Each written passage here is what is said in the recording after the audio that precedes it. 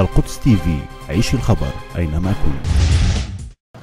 مجموعة من كوادر حركة فتح الذين غادروا قطاع غزة إبان أحداث الانقسام الفلسطيني في العام 2007 يعودون اليوم إلى عائلاتهم بعد أن سمحت لهم الحكومة المقالة بالعودة من دون تعرضهم للاعتقال أو المساءلة. فرحة كبيرة بدت على وجوه العائدين الذين غيبوا قهرا لأكثر من خمس سنوات عن القطاع. الدنيا من سعانة من الفرح وبنتأمل من الله ومن الأخ أبو مازن رئيس دولة فلسطين ومن قيادة حماس أنه يستمروا في العمل هذا لإنهاء هذا الملف اللي سبب لنا يعني إحراج كبير ونقطة سوداء في تاريخ الشعب الفلسطيني للأسف.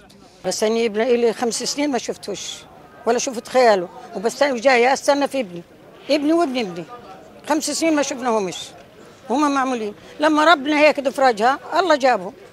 الحكومة المقالة التي اتخذت قرارا الأسبوع الماضي بالإعفاء عن المتهمين في القضايا المتعلقة بأحداث الانقسام قالت أن هذا العفو يتعلق بأولئك الذين لم يشاركوا في عمليات قتل. في المقابل استقبل القرار الحمساوي بترحيب فتحوي أملا في طي معاناة المئات من أبناء الحركة الذين ما زالوا خارج القطاع خشية اعتقالهم. هذا كان مبعث لخلق أرضية آه، للوحدة ما بين أرجاء الوطن وإنهاء حالة الانقسام البغيض آه، اللي بمر فيها الوطن.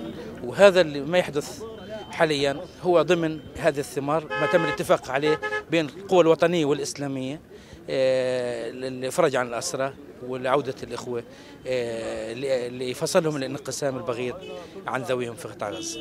العودة لإعداد محدودة من كوادر حركة فتح إلى قطاع غزة تشكل وفقا للسياسيين والمراقبين تطورا يمكن البناء عليه للسير قدما في ملف المصالحة لكنه يحتاج إلى إجراءات أخرى من قبل الفرقاء الفلسطينيين. فرقاء حالت إجراءاتهم على الأرض من دون إنجاز المصالحة التي بات تحقيقها محلا لتشكيك الكثيرين.